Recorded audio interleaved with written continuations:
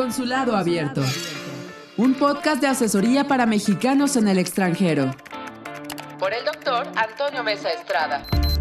La urgencia por apoyar a los jóvenes que pudieran regresar a México deportados de Estados Unidos ha llevado a los senadores a avalar cambios importantes en la Ley General de Educación para facilitarles el proceso de revalidación de los estudios realizados en ese país. Estas medidas garantizarán el acceso a la educación básica y media superior, aun cuando los solicitantes carezcan de documentos académicos o de identidad. La medida permitirá a las escuelas públicas y particulares revalidar u otorgar equivalencias parciales de estudios de acuerdo a los programas que imparten, beneficiando a miles de jóvenes que no han concluido sus estudios en Estados Unidos.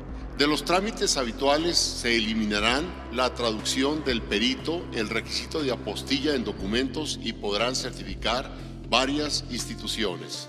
Otro sector vulnerable en cuanto a su futuro laboral en México son los 20.000 mexicanos con doctorado que residen y trabajan en el país del norte, pues tendrán que dejar esa nación en contra de su voluntad al buscar empleo y no obtenerlo. Para hacer contacto con el doctor Mesa Estrada a través de Facebook, puedes encontrarlo como Antonio Mesa. También en Twitter en arroba Antonio Mesa E. Y por correo electrónico en la dirección antonio.mesa.estrada arroba gmail.com.